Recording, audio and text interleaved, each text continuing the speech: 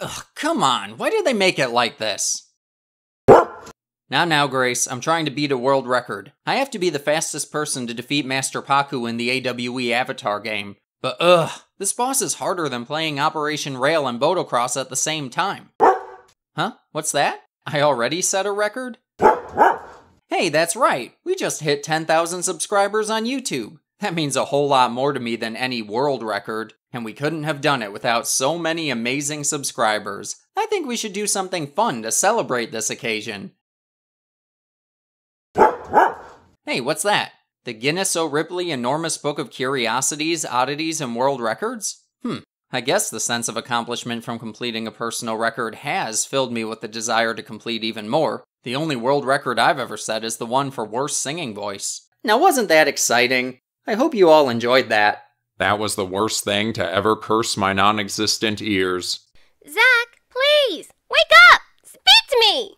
Thank you, thank you. I know, it was very good. But hmm, I don't know about this. There are an awful lot of records to set in here. If only there was a way for me to achieve a ton of world records at a time.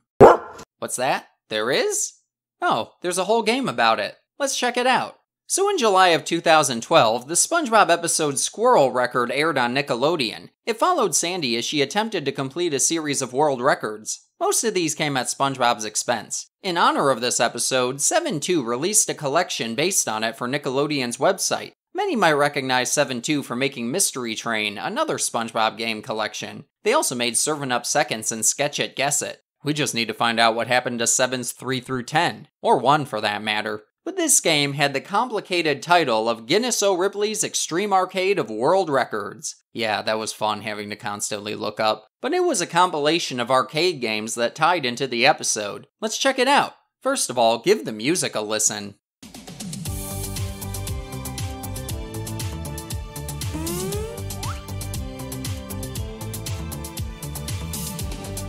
Fitting for the arcade scenery, SpongeBob is playing a game over here and this guy's just standing around. Is that Guinness O'Ripley? Wow, he sure looks different. Plankton's also jamming out.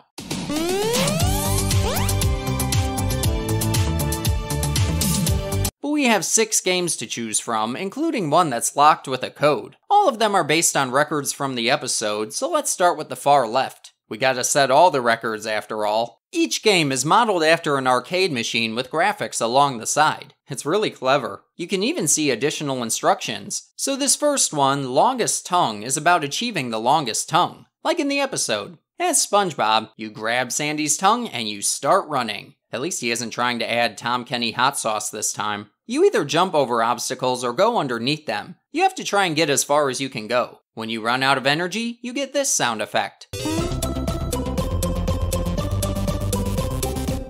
General music is really good too.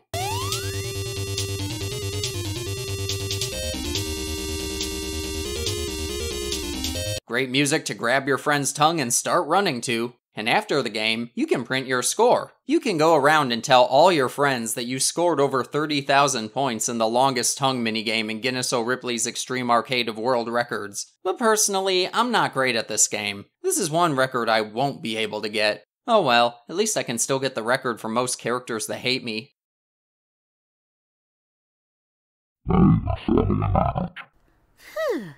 The voyage to the corner of the globe is a real trip.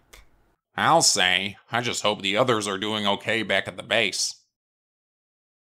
So, what do you like to do for fun? Okay then, guess we'll just sit in silence. Never mind them. At least we have reached the temple. Destiny awaits. And what might you be doing here? Master Pakku, in the flesh! I thought we'd find you here. So, you're a master of water bending, right? We kinda need your help. We're up against a really persistent foe, and we need to learn some moves that'll help us defeat them. Nothing too complicated. We've tried everything. We even summoned a demon, but it won't be here until October. Hmm. Very well then. I shall teach you what I know.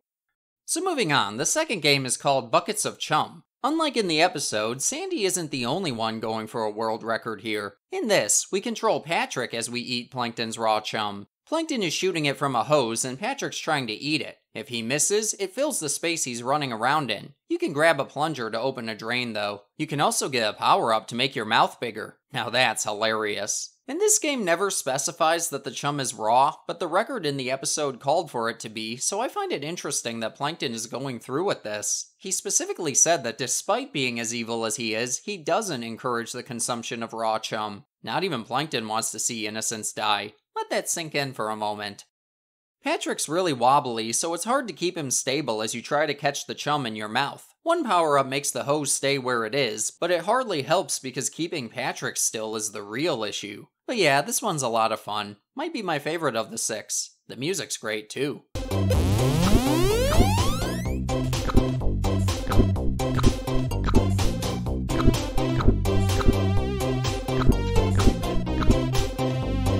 Now, this next one is Cobra Milker. There are three cobras coming out of baskets, and you need to milk their fangs as they're slowly being highlighted. You can't let them glow too much, or the cobra will lunge at you. How's that for a jump scare? SpongeBob can also appear, and if you click him, he'll play his nose flute to charm the snakes. This makes them stay still and lets you milk them. The fangs glow faster as you go along, but even so, the game is really easy. I end up losing on purpose because it goes on for too long if I don't. If I had the time or the patience, I could probably set a world record with this one. Maybe it wouldn't be so bad because I could hear this really cool arcade music.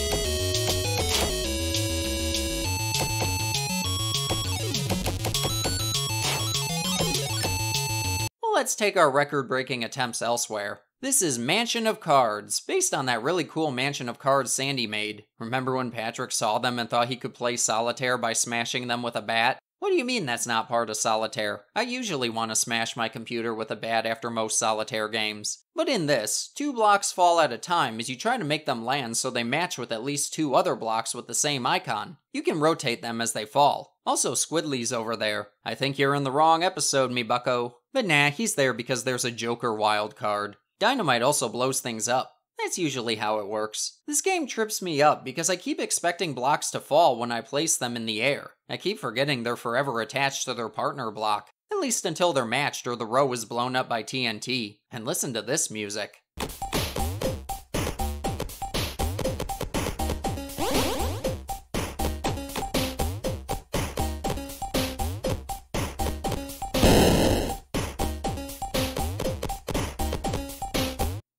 Has a Tetrisy vibe to it. It's okay. Now here's Mega Band Ball, which is the game SpongeBob is always playing here. Must be the developer's recommendation. It's just a game of Breakout where you control Gary and bounce a ball of rubber bands at boxes. This is the third Breakout game on Nick.com to involve Gary. Was there some agreement at Nickelodeon to make Gary the star of all their Breakout games? But you can catch rubber bands for a higher score, as well as S icons that make you faster. But that doesn't make too much of a difference, I wouldn't go out of my way for them. But apparently these B ones make you bust a move. That makes me think Gary's about to get up and start dancing for us. But nah, it just makes your ball stronger. And here's the music for this one.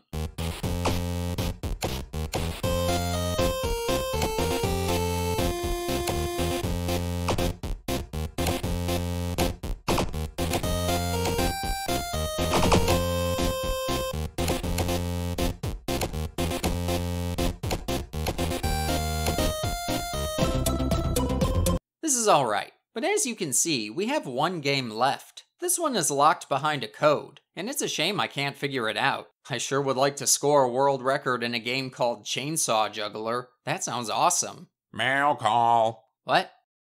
Ow! Hey, it's a letter. Facebook crabs? What does that have to do with. Oh, it's FB crabs. Makes sense to me. So, in this, you're Mr. Krabs and you're juggling chainsaws. Now, there's something I can totally see him doing in the show. You move around and catch them with your big meaty claws, flinging them back up so you can juggle them. You can even make your claws bigger and meatier. Cool music, too.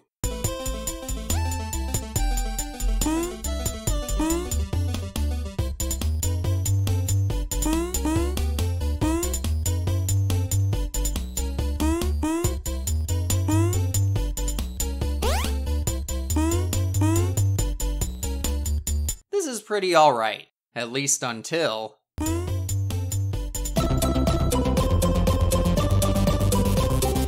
Really, Patrick? Gosh, don't you just hate it when you're trying to juggle chainsaws and Patrick's star falls on you? But overall, not bad. This whole game collection is a lot of fun and one I enjoy going back to. I like the arcade style and the music that fits along with it. There are many details that you can notice while playing, and they really heighten the experience. This is a unique take on the episode that inspired it, but still original and makes for a good time. 7-2 was an impressive company that made a lot of really good games. They were a good addition to Nickelodeon's website, and I'm always glad to check out their work. They really came through with this one. I'm happy to have checked it out. But now, if you'll excuse me, I do believe I started playing this because I had some records to set. I think it's time I get back to doing exactly that. So for now, I'm going to play through all of these minigames until I get the highest score for each of them. Wish me luck in my adventure. Be sure to subscribe, follow me on Twitter and Twitch, which are linked in the description below, and tune in to our next installment.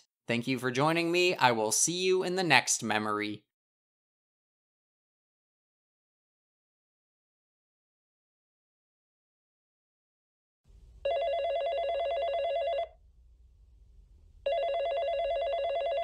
Hello? What is it, Jo Slammit? I'm in the middle of learning how to shoot water from my fingertips. We can do without the name calling. Look, there's been a bit of an emergency. When are you coming back? What kind of emergency?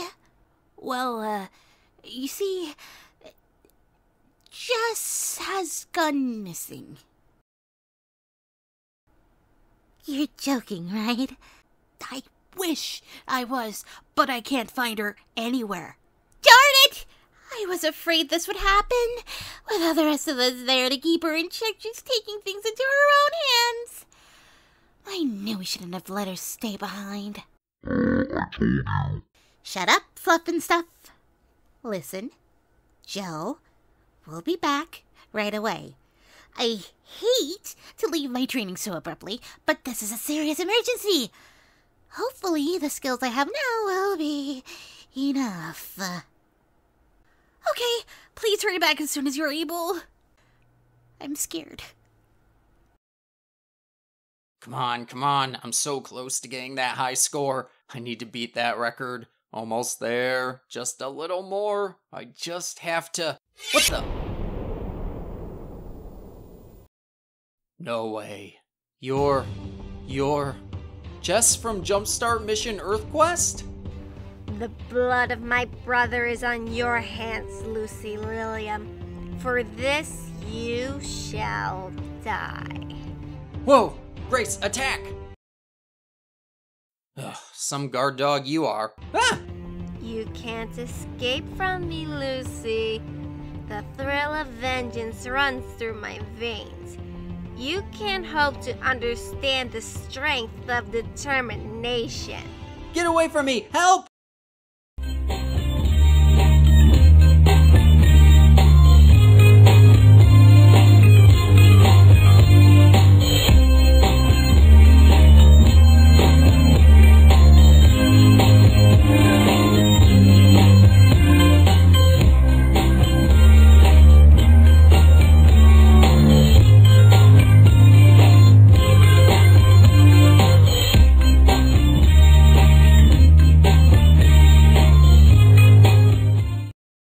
Oh no, I'm trapped. It's the end of the line for you, Luci Lilium.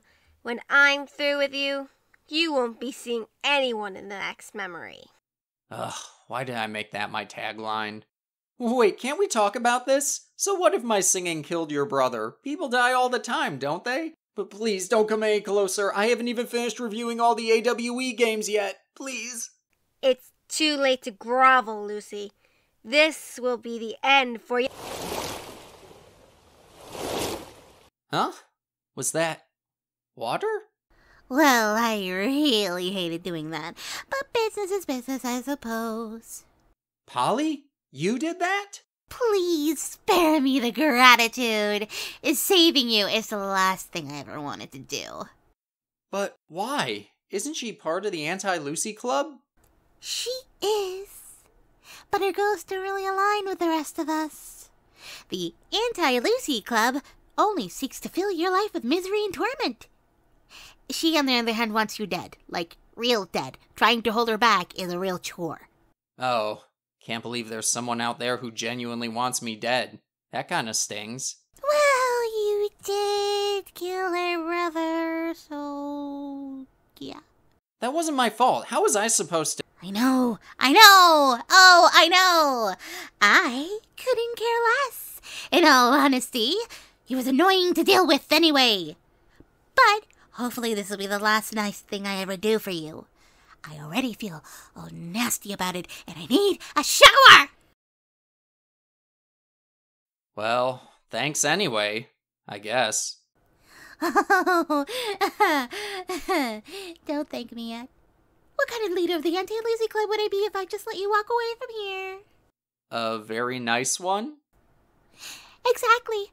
And we just can't have that, can we? Besides, your channel just hit 10,000 subscribers. Why don't we end your latest video by giving them a little show? A show? What do you.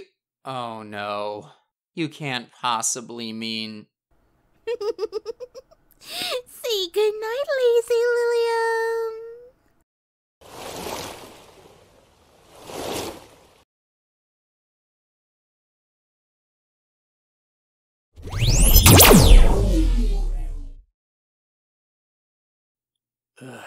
not again.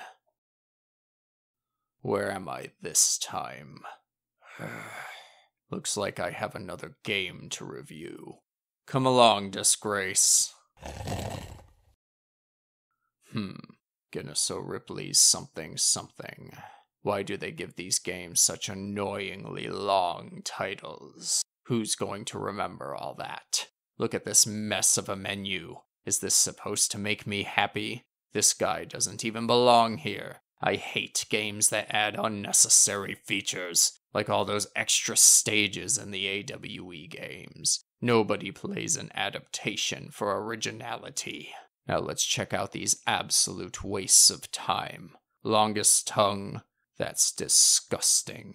The very thought of this concept makes me sick to my stomach. I can't look at it any longer. That is also repulsive. Why is the big pink blob drinking this termite's fluid? I can't stand to look at it any longer. I'd sooner watch Bratz Rock Angels. For the record, I'm glad they took so good out of the PC game. Now, this game is more like it, but it's something I do in real life every other week. I find less enjoyment in a simulation of it. Next, boring Tetris ripoff. Next, boring Breakout ripoff. Next. Again, this is just something I can do in real life. Why would they make a game out of it? Gamers should get their lazy bodies outside and actually juggle some chainsaws. If they miss, good. All of these games are terrible. Why couldn't Polly make me play a real game like Botocross or Operation Rail? Or even the AWE Avatar game, the only good game they've ever made. This is worse than watching the first three seasons of Winx Club. I can't stand having to play these stupid, mm-hmm. god awful games that people make. And frankly, I'm glad so many Flash games are hard to come by these days. 99% of them are absolute garbage, and nobody should ever torture themselves by. Ow, my head. Ugh, Polly turned me into Dark Luci again. Great. Now, how am I gonna get out of here this time? Over here. Huh? Jo? A key? But you're. Oh. Thank you, Jo. But by the way, did Polly seriously go out and buy a dog just for when she turns me into Dark Luci? What did I say your name was again? Disgrace?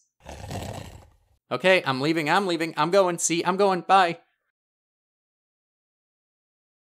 I woke the same as any other day, except a voice was in my head. It said, Seize the day, pull the trigger, drop the blade, and watch the rolling heads. The day I tried to live, I stole a thousand beggars' change and gave it to the rich. Yeah. The day I tried to. Oh, is this thing on? disgrace.